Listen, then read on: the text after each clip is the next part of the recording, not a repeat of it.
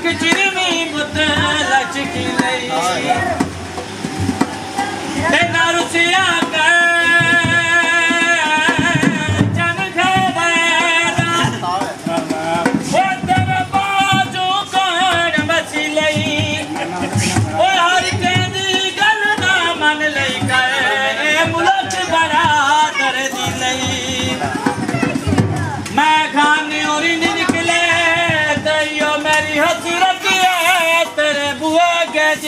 Nicholas.